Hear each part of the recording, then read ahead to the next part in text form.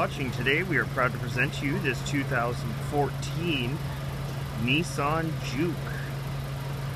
Are inside the Juke taking a look at the driver information screen. This guy is located in between the gauges and shows us basic information about trip odometer, outside temperature, and what our fuel situation is looking like.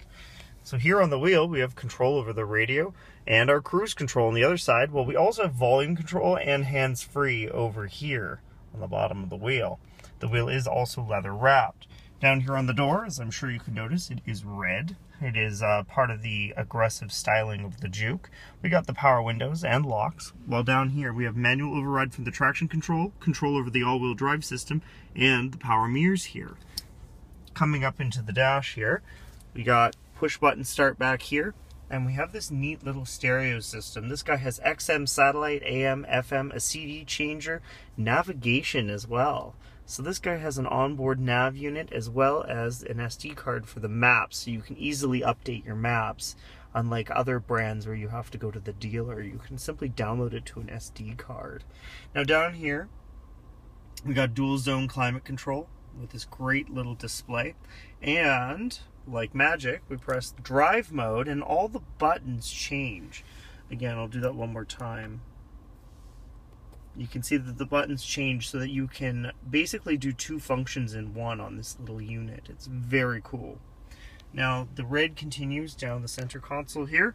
There's the key. And of course, we have the heated seats for the driver and passenger.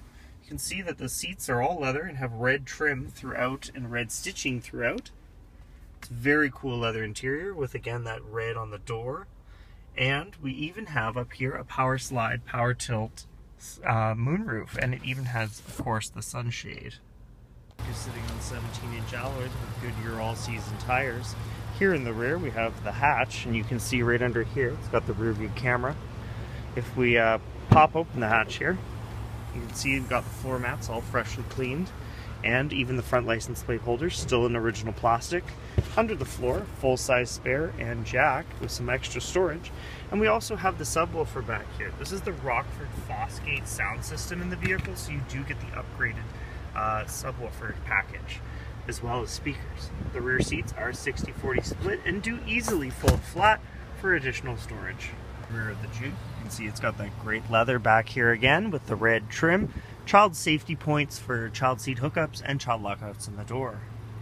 Today to check out this Juke or many other like it.